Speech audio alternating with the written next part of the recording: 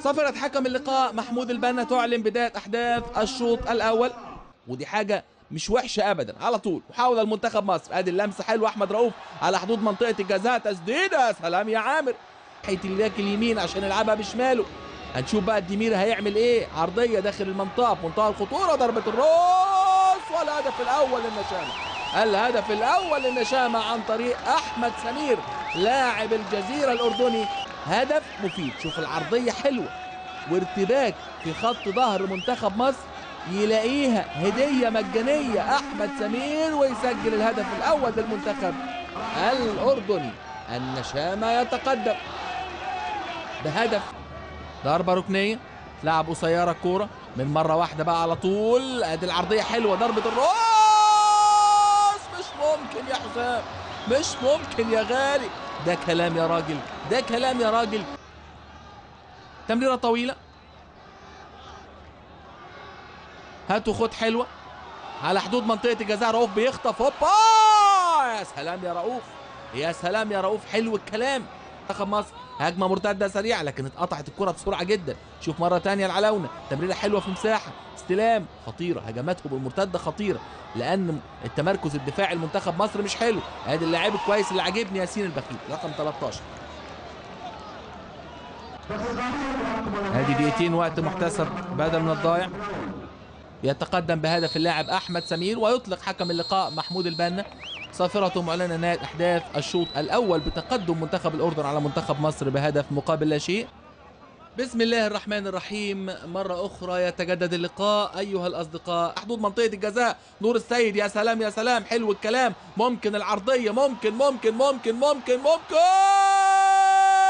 كان هيبقى عالمي. كان هيبقى هدف عالمي يا ساحر. يا سلام يا سلام. حلو الكلام يا مصطفى. حلو الكلام. كان هيعمل هدف مارادوني. شوف الانطلاقة شوف الاختراق شق الطريق بدون مساعدة صديق. عدى وفات قطع مسافات. سدد يا سلام يا سلام. لو جه هدف لو جه هدف يا ابني كان هيبقى عالمي. أعضاء مجلس إدارة الاتحاد المصري لكرة القدم مهندس هاني أبو ومهندس محمود الشامي محاولة لمنتخب مصر. عرضية داخل المنطقة في منتهى الخطورة. المتابع المتابع المتابع! عامر شفيع يتألق. عامر شفيع يتعملق. مش ممكن يا رامي. مش ممكن يا رامي. غريبة جدا. لكن مرة تانية توصل لمنتخب مصر. وما زالت المحاولات مستمرة. وادي التسديدة. فين يا مصطفى؟ يا مصطفى! عمرو جمال ادي العرضية. ضربة الراس معدية. لسه فيها كلام. خلاص خلص الكلام يا مصطفى يا فتحي. كان لاعب وسط مهاجم على فكرة. عبد الله. ادي البينية حلوة داخل المنطقة وادي الحاوي الحاوي الحاوي. مش ممكن يا حاوي. مش ممكن يا حاوي. يعني أنت والحارس المرمى انفراد تام وصريح. تيجي منك أنت تيجي منك أنت يا راجل. مش ممكن. بحرة مباشرة. وكان هيجي هدف ولا إيه؟ كان هيجي هدف أثناء الإعادة. في لسه فيها كلام. مش ممكن. مش ممكن. يعني حتى الهدف في اللعبة اللي فاتت كان هيجي هدف على منتخب مصر لكن جت في العارضة. الحمد لله في القائم.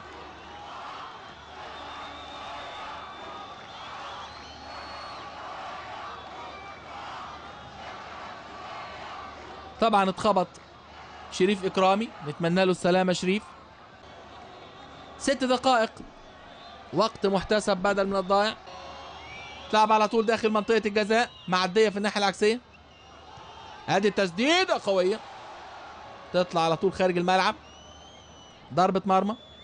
عمرو جمال اتقطعت منه الكورة. ويطلق حكم اللقاء محمود البنا صافرة معلنة نهاية أحداث الشوط الثاني والمباراة بفوز منتخب الأردن على منتخب مصر بهدف مقابل لا شيء في التجربة الودية الدولية.